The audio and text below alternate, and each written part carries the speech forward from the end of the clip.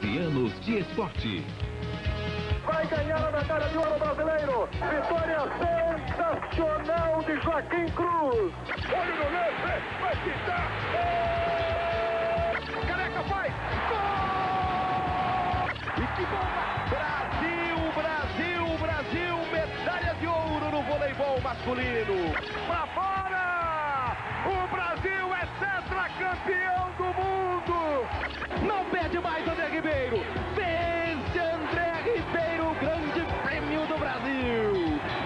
Chegou o Rivaldo Luizão, olho no lance.